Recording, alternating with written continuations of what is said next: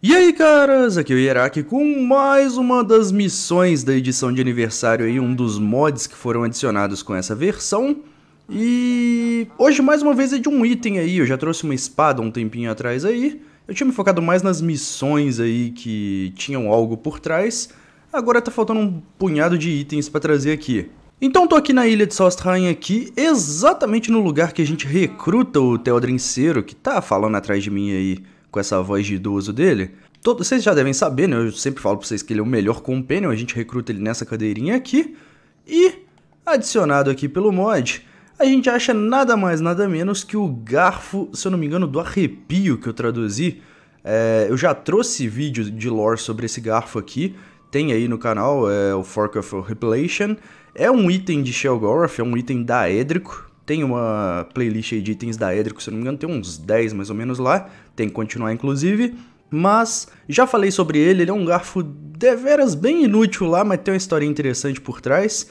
E aí ele tá pregado aqui com essa notinha misteriosa. Sim, a gente tá falando de uma missão ligada ao titio da loucura, ao Shelgoroth. Querida pessoa que por acaso acabou encontrando essa carta, é seu dia de sorte. Próximo de você, você vai encontrar o Garfo do Arrepio. Ah, que... como eu adoro... É, clutter eu acho que é talheres, alguma coisa assim. Mas o que é isso? Você deve estar se perguntando. Bem, o arrepio é o que fica mexendo com os seus pelos por, devido ao frio, ao medo ou à empolgação. E a empolgação está sobre nós, meu amigo. Leve esse garfo e use ele para matar dois Bullnets especiais em um combate único. Cada um deles vai ter um artefato, o Olho de Sirta e o Galho das, uh, da Árvore das Sombras. Guerreiros de outra era talvez achem isso familiar. Combine esses itens juntos com alguns, algumas pedras coração e um é, em um é, encantador de cajados para uma surpresa especial. Se você for bem sucedido, você vai ser recompensado muito bem com o cajado de Shelgoroth. Ele é muito belo de fato. Se não, bem, eu adoraria ver uma boa luta. Sinceramente seu, Lord Shelgoroth. Pois é, o que acontece? Isso aqui é uma claríssima referência a uma quest de Morrowind lá, em que você... É, em que você tinha, é, você tinha que matar dois bullnets exatos. Não sei se era dois, na verdade, acho que era um só lá. Você tinha que matar um bullnet lá usando exatamente esse garfinho. Lá tinha até uma mamata que você podia acabar com ele praticamente, porque o garfo é absolutamente ridículo, né? Se você for ver aqui, é 3 de dano. Eu acho que tá causando até mais. Eu por acaso já fiz essa live aqui semana passada, na live semanal aí no canal, toda terça-feira, né? é, eu acho que tava marcando um de dano. E eu acho que lá no Morrowind também era um de dano.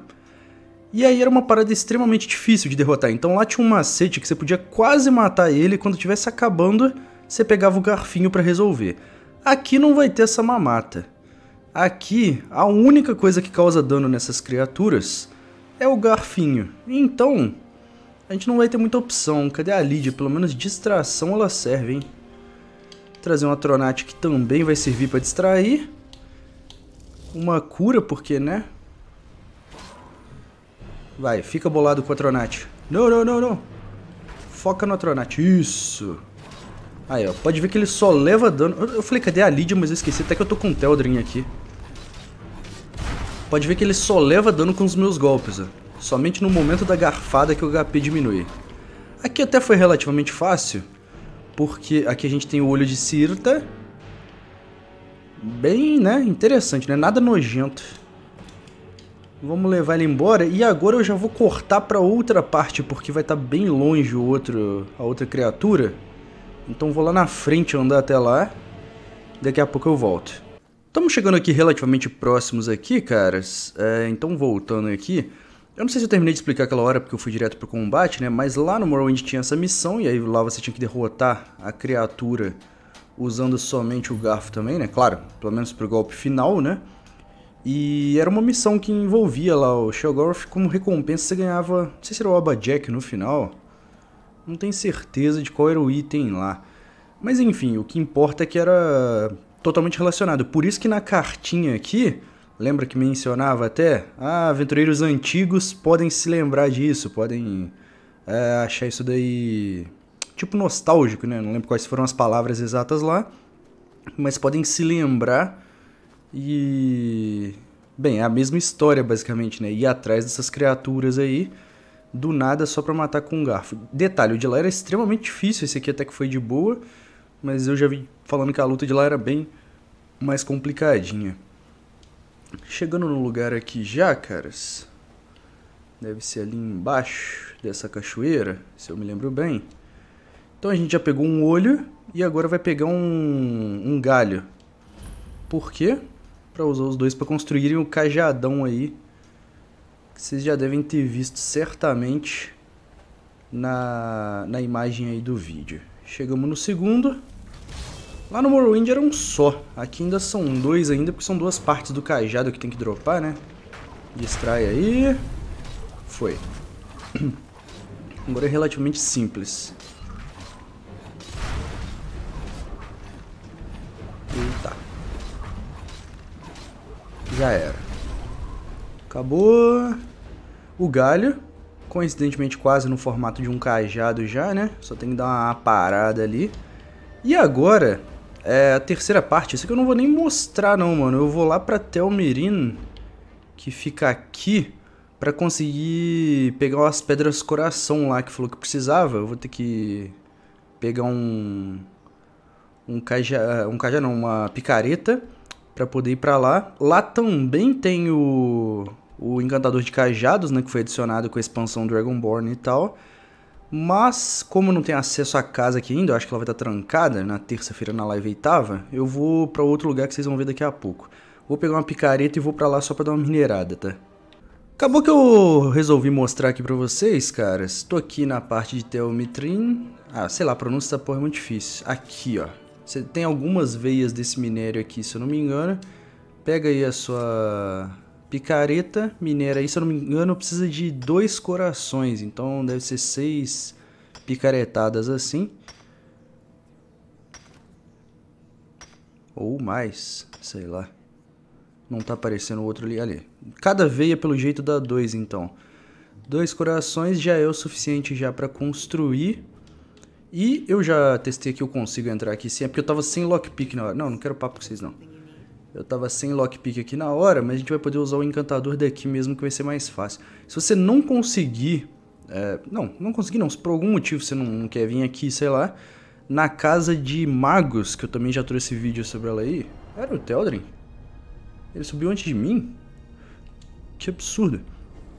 É, por acaso, se você não quiser vir aqui, a Casa dos Magos lá em... Ah, isso aqui só vai abrir se ele abrir ela pra mim, que vacilo. A Casa dos Magos lá do... É, que foi adicionada aqui também nesses mods, também vai estar tá liberada, entendeu? Lá também tem um, um encantador de cajados. Não, eu vou passar por essa porta aqui, pera aí.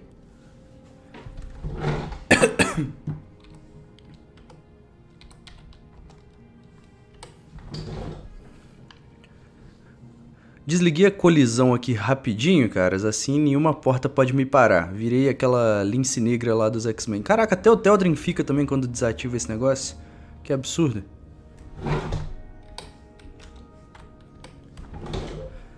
Reativada só para evitar maiores problemas, né? Espero que ele tenha passado antes ali, 100%. Aqui a gente pode usar o encantador de cajados. E, já que temos todos os itens aqui agora, dá pra craftar... Caraca, tem muita opção. Acho que era Staff of Shelgorth, isso mesmo, é. Dá aqui pra craftar o cajadinho. Olha, detalhe pro olhinho, que bonito ali no meio, ó. É, o cajado de Shelgorth, o alvo que falhar a resistir é paralisado por 10 segundos. Eu pensei, caraca, que merda, hein, na hora que eu fiz ele a primeira vez. Mas vamos dar uma testadinha pra vocês verem aí. Chegando aqui no centro de Whiterun, um lugar bem populoso escolhido aleatoriamente, Podemos usar o cajado. A gente poderia mirar em uma pessoa só. Só que o que acontece é isso aqui. Então... Ah, que isso? Não dá pra acertar enquanto tá paralisado? Que absurdo é esse? Mas o que importa é mostrar o efeito, vai. Eu, eu achei que teria um final mais feliz aí, mas vocês entenderam, né? Olha que molezinha. Afeta tudo em volta, a uma certa distância, né? Aqueles lá estão bem distantes. Mas, quando o nego começa a levantar, paralisa de novo. Olha pela... Beyblade, vou te mostrar do que ela é capaz. Só Skyrim, cara, muito bom. Sai de mim, moça. É isso, caras. O importante é acabou que eu, só pra dar uma mostrada mais pertinho do cajado, né? Não dá pra ver tão bem ali no jogo só em si. Mas o cajado é bem da hora. Tomara que esse seja um item pra estar no próximo jogo aí. Se eu não me engano, é, eu acho que esse item já apareceu em outro jogo. Não sei se foi Oblivion, eu não tenho certeza. Ou não também. É porque o Shoggoth tem uns oito itens, tá ligado? Ele não é. não tem só um ou dois como a maioria. Ih, agora é a vez do Teldrin. Carai. Mas enfim, não tem como levar muito a sério quando ele começa a rodopiar assim aleatoriamente, né? Olha, a, a, a Isolda chega aqui, tá esse caos e pra ela tá de boa, viu? Não tem problema não. É, dá pra, dá pra brincar, vai, dá pra brincar. Claro, você não vai... Nossa, gasta bem quantidade de, de mana aí. Mana não, de encantamento, né?